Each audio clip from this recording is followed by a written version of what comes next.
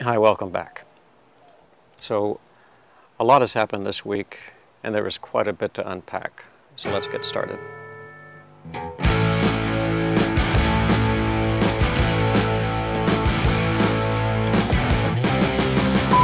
All right, straight to business. So, a lot has happened this week, and it all bears mentioning on camera, not just in podcast form, sadly enough. So I hauled out the camera, brought it out here to the backyard where it is 95 degrees according to whoever sends this data. 95 degrees. Okay, so where shall we start? Um, most of today's topics involve interactions with law enforcement. Big surprise, right? At the start of the week, uh, I got a visit regarding a reflector that is actually working right now. It's behind me because of the cloud. You can't really see it working, but there's a reflector bouncing light onto my back, working as a hair light. It's bouncing off this uh, have a little bouncy board over here, and it's helping to even out my lighting. It is not at risk of starting any fires so I, I don't know who I need to reach out to. Do I, do I need to talk to teachers, people who might be at the front line working to educate future police officers, future people, future neighbors of mine? Please educate my neighbors. We're in the midst of a heat wave. We've had multiple days of triple digit temperatures here. And the sun strikes my window. I use a window unit to keep my room habitable during the summer. And there happens to be sunlight striking the window directly. So I thought, well, I've got, I've got my camera gear, production gear, uh, reflectors, bounce boards. I'm going to set one up to put a little bit, bit of shade, to put some shade on the on the air conditioner. See, like, like if this is the air conditioner, and this is the, this is the bouncy board, we're gonna put some shade on it. Well, I think as, as the sun tracked across the, the sky that afternoon, I have a feeling that it bounced some light into the window of the neighbor's house, which they didn't like. They don't talk to me. What do they do? They call the cops. So cops came over and they just unloaded this litany of complaints from the neighbor. Everything from flying a drone over their house, which the drone was over this house and over the block. Uh, I don't want to get into that because I haven't even flown that drone this year. We're talking about something that happened more than a year ago. Anyway, they were not the subject of the photography. I was looking at, I was looking at these trees for one thing, because I have to, I'm going to have to do some tree trimming, and I wanted to see how uh, even or uneven the growth was around these trees. So anyway, let's move on from there back to the bouncy board situation, the reflector. So the, uh, the, the, the officers who responded commented that uh, the, the, the, reflector, here, here it is, it's working right now. You see it on the back of my neck? It's over here. And I am not catching on fire. And the bouncy board, the other reflector over here, is not getting charred. So yeah, this reflector attracted the attention of the Waco Police Department. And the officer pointed out that it represented a fire hazard, that the re reflection could, uh, if it bounced light into the trees, it might set them on fire. Now let's talk about simple physics. Any sunlight reflected off of any surface is not going to be anywhere near the intensity of the sun. In fact, when you think about it, if the sun itself is not setting your tree on fire, then the reflection of that sunlight, diminished as it is by the surface of the reflector, is also not going to have the intensity to start a fire. So please, somebody, educate Waco Police Department. Maybe get the fire department involved. I don't know what they know about optics and reflections and absorption patterns of various materials, but a, a, the, the, the reflector is flat. And a flat surface, a flat surface is not going to focus the light in such a way that it could catch a fire, set a fire. Catch anything on fire is what I'm trying to say. I'm speaking from the benefit of, of uh, experience. I've been working in field production for a number of years, and I've never had a bouncy board set anything on fire. It's much more likely that uh, maybe a water bottle, a clear water bottle or a glass, particularly a crystal glass, set out in the sun with a clear liquid and it could focus the rays of sunlight like a beam, like a laser, like a, not like a laser, like a, like a, like a magnifying glass, like a lens. In fact, the uh, officer said that, that my reflector was at, would act like a lens and burn down the trees, but that is absolutely false. So uh, officer, whoever you were, I didn't get your name or badge number, whoever responded that day, uh, you are sadly mistaken. You're misinformed. I don't know who told you that a flat piece of metal reflecting sunlight would start a fire, but they were wrong. I don't know if you cook this up yourself, you're wrong. Reflectors don't work that way. It's on the back of my neck right now, and do you see any smoke? I don't see any smoke.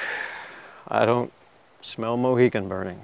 This makes me want to point out that just, just as there's an overall infrastructure problem in this country, and I'm talking about roads and bridges failing, there's also a failure in the other core services like the police department. I think we've seen this illustrated very well in the wake of the Uvalde shooting massacre. Uh, we were led to believe that people with badges are heroes 24-7 and you know they're just minted as heroes. We're finding out that's not the case, that, that uh, some of your heroes, some of those guys with badges are actually cowardly dullards who are just pursuing their own interests. Sadly. And I've said this for years, and people have uh, chided me for saying this, but my point is illustrated with the videos and the stories, the facts that are coming out of the Uvalde shooting massacre. Now, talking about uh, more about the Waco Police Department. Like I mentioned before, I worked in television production for a number of years, and one of the shows I worked on locally was called Fixer Upper. It took off and became quite popular in many places. And early on in the production of that show, uh, we were visited, the production was visited by a Waco police officer. And he wanted to, he, he felt that he was talking to a bunch of out of towners and sure, some of them were from New York or LA, but what they don't realize is that these reality shows tend to hire local people, and I was one of them.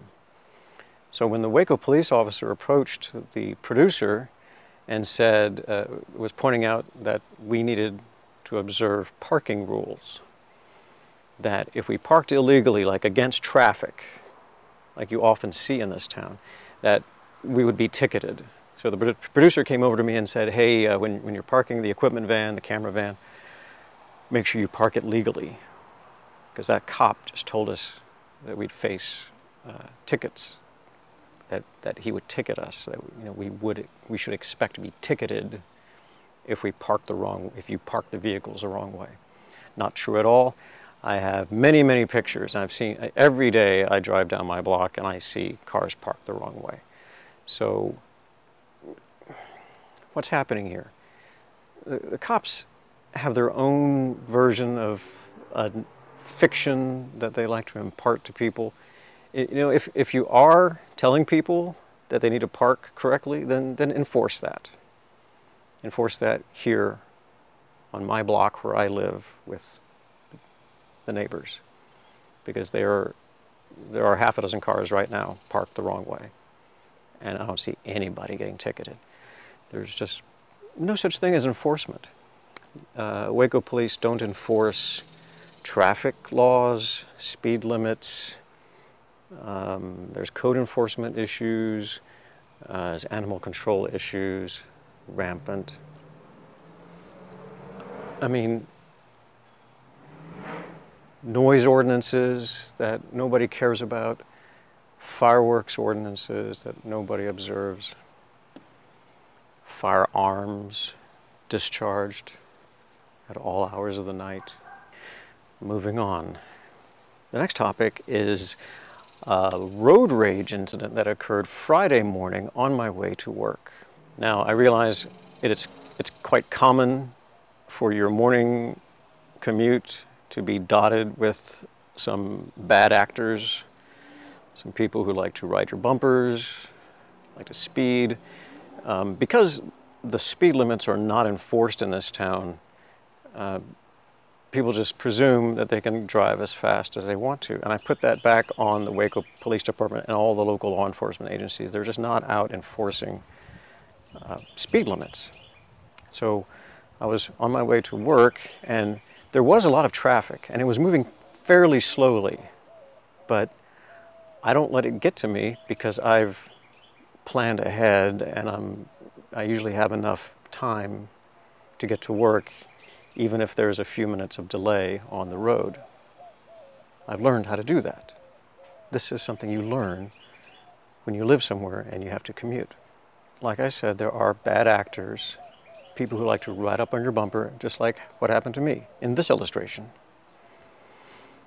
Well, and when people do that, I tend to respond in the same way, consistently, like this. Well, that driver of that Chevy Silverado LT was watching me. He took his eyes off the road long enough to see me salute him in that manner, and he got he got way bent out of shape and began to misbehave in this way.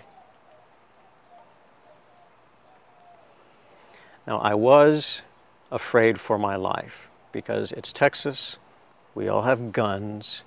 I didn't want to have to return fire on this guy, but I had to wait to see what he was going to do, how just how violent was his outburst going to be, how intense was this road rage incident going to become. He acted like he wanted me to stop, and for a moment I considered stopping. That it might be safer just to stop. But thank goodness my gut spoke to me and said, no, keep, keep driving. He's probably not going to try to hit you with his vehicle. It doesn't mean he might not try to shoot at me if he has a weapon on him, because he did roll down the window. He rolled down the window and he spewed a lot of obscenities. He called me a piece of shit, or he called my vehicle a piece of shit. And his rant continued until he eventually sped off into the distance. And he, he would have been breaking the speed limit, but as we all know, speed limits are not, not enforced, so once it, you know, we, we can't establish that a crime was committed because uh, local law enforcement won't enforce any speed limits. They have to get a special grant to do that, I found out. Um, I think the police budget for Waco is somewhere around $30 million annually. What do you get for your $30 million? You get a bunch of guys sucking down coffee and choking down donuts you want law enforcement, you have to pay extra, it turns out. So because the area where this incident occurred was outside of Waco city limits, it wasn't in Hewitt, the next town over to the south, it was out in the county. So I had to deal with a sheriff's deputy. Sheriff's Deputy Reynolds, badge number 196, at least that's what he gave me, was not the least bit interested or concerned about my plight. The story I described to him did not include any criminal activity. No laws were broken in the process. The uh, reckless driving might earn the driver a citation, but in the words of the sheriff's deputy, that would only occur in the event that the evidence supported such a charge, and then the, the deputy would have to, and, and I'm quoting him, he would have to try to find the driver. Now tell me that the McLennan County Sheriff's Office doesn't have resources to look up somebody's license plate number and track them down. So he's acting like this person just, just vanished. He's untraceable. Sped off into the sunset and was gone, a puff of unsmoke. So that's my rant for the week.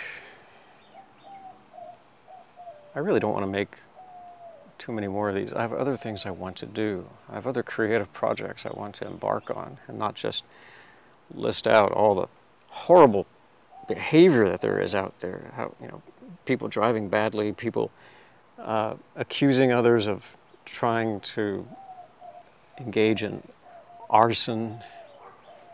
I was just trying to make some shade for my for my window unit over there, keep it functioning throughout this horrible heat wave that we're having this summer. I suppose I can take a moment to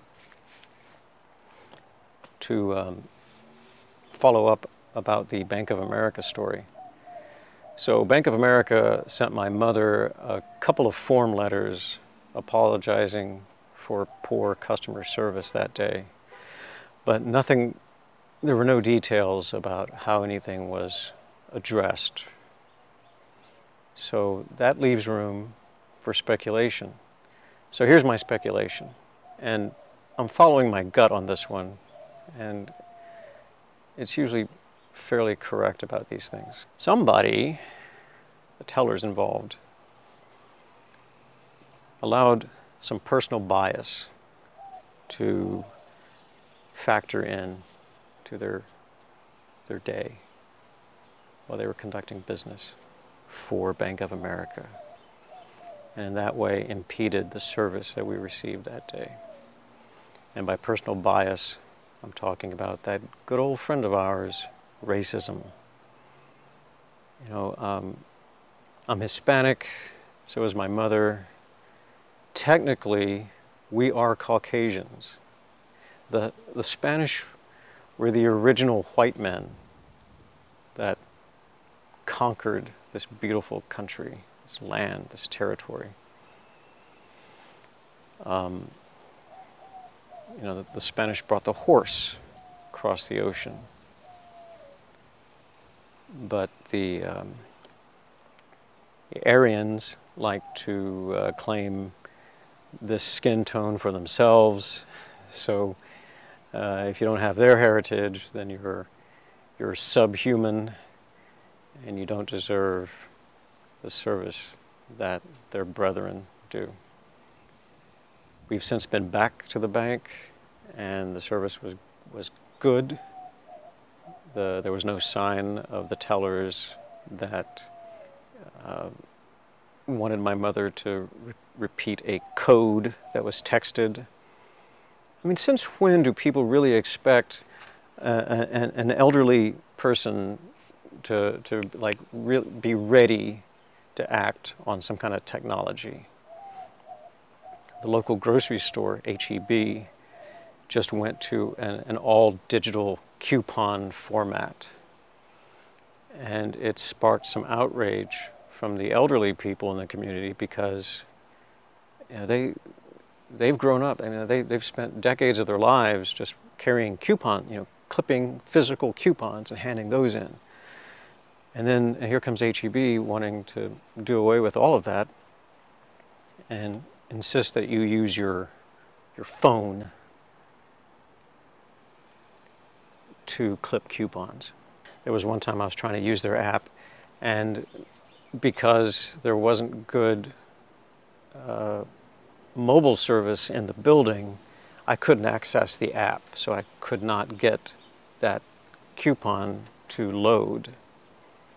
I had to wait a while to wander around and let that signal pop up so that the coupon would download. So, so I would say HEB needs to do something about that, maybe uh, provide free Wi-Fi for everybody in the building because those buildings are huge. They have a tendency to be so big, have so much steel, you know, steel and concrete that can block the mobile signal. Anyway, well, it's just after four, not after four, it's just after two. I've not been talking for that long, but I think I'm done for now. I hope that your weekend is wonderful. I hope that your week is better. Um, on a brighter note, I did get a job offer on Friday. So after that whole road rage incident, uh, I did get a phone call. I was expecting it to be like like an idiot. I was expecting it to be uh, a sheriff officer following up with me, but instead it was a job offer and a pretty good one. I hope you have a better week, and whatever happens, remember to transcend the bullshit.